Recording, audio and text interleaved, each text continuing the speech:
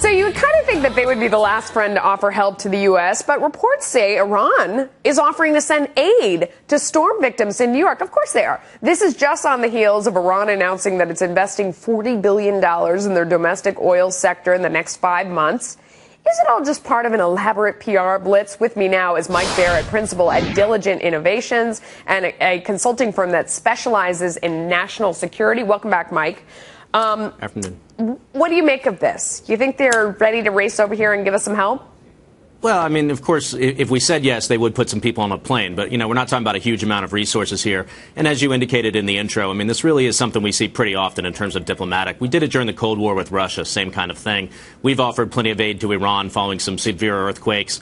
One of the most interesting periods in history actually was 2002, just after 9 11, when Iran actually had a horrible earthquake and they did accept some American assistance. But of course, uh, tensions have worsened quite a bit since then. Do you think they offered to put people on a plane because they knew the airports were closed?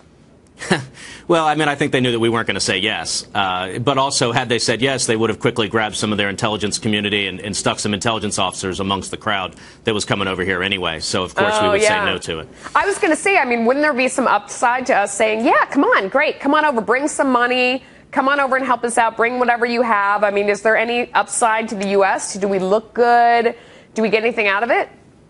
I don't think so. I think there's a much bigger upside for Iran. I mean, they really are playing a global PR game right now regarding their acquisition of or their pursuit of nuclear weapons.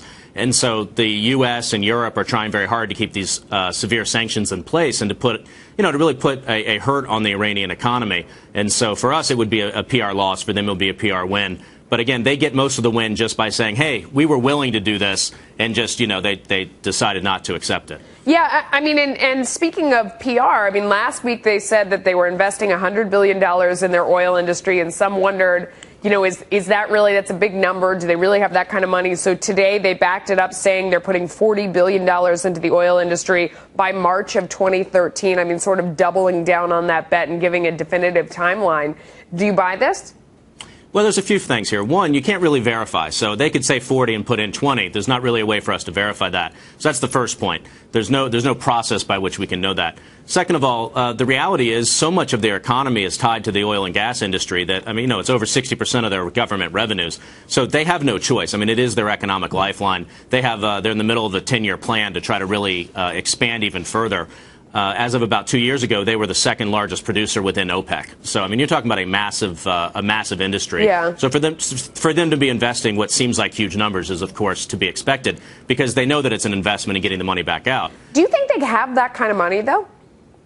You know, it's interesting. Uh, just as I was preparing to come on today, I, I did some uh, some searching around on some of the news sites, and it turns out that the New York Times has reported as recently as August of this year that uh, the Department of Justice is investigating some Chinese banks for being heavily involved in laundering billions and billions, billions with a B, of dollars into Iran. So you can see that even though we have these sanctions, the, the reality is that there's ways to get around that.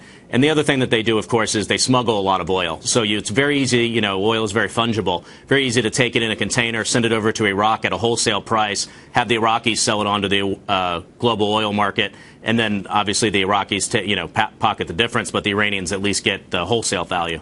Yeah, absolutely. And we've been covering a story that came out of Reuters about them uh, smuggling gold into the country, getting it from Turkey. It's going through Dubai, and I'm sure that's part of the same chain that you're talking about. There's probably oil in there somewhere, right? Yeah, when you think? Ab- ab- absolutely, absolutely. I mean, the smuggling routes that go on in that part of the world are just, I mean, they're, you know, they're they're fabled. It's been happening yeah. for centuries. Mike Barrett, thanks so much for coming on. We always appreciate your time. Good insight.